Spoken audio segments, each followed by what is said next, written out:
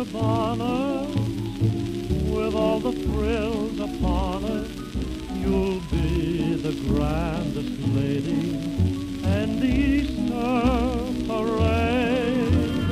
I'll be all in clover, and when they look you over, I'll be the proudest fellow in the Easter parade on the avenue, Fifth Avenue. The photographers will snap off, and you'll find that you're in the rotogravure. I could write a sonnet about your Easter bonnet and of the girl I'm taking to the Easter